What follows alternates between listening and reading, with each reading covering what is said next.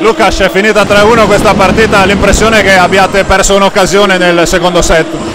Sì, sì, peccato, peccato per questo che abbiamo sprecato occasione in eh, secondo set, secondo me questo era, era un momento decisivo, eh, ma devo dire che, che squadra di Perugia ha giocato molto bene oggi in tu tutti i fondamentali, in difesa, in, in attacco, in, eh, in battuta e adesso aspettiamo una partita intensa anche a Trento. Ecco, in gara 3 cosa dovrete cambiare?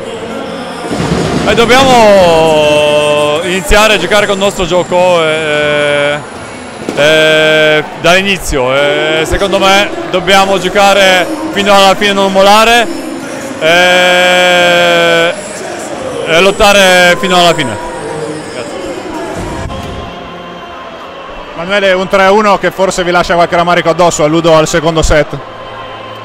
Rammarico c'è per forza perché era una chance per, per passare il turno e andare in finale, quindi come, come non essere dispiaciuti, però insomma loro hanno giocato bene, sicuramente meglio che a Trento e, e insomma sapevamo che avevano tanto carattere, soprattutto in casa loro. Noi come hai detto tu forse andava vinto quel secondo set perché eravamo avanti, siamo, abbiamo sbagliato troppo, siamo stati poco lucidi. E, e poi insomma, il piano doveva essere quello secondo me, andare 1-1 e poi provare a vincere il terzo di slancio per mettere in pressione insomma, un po' con le spalle al muro, però eh, da 2-0 sotto è vero che il terzo l'abbiamo vinto anche fin troppo facilmente, poi il quarto si è messo male sui binari che erano prima, Panasevich ha, ha giocato molto bene, sicuramente va, va limitato e anche noi in attacco dobbiamo ritrovare un po' il ritmo che avevamo che in queste partite insomma è un po' calato. Gara 3 però si gioca al Palatrento.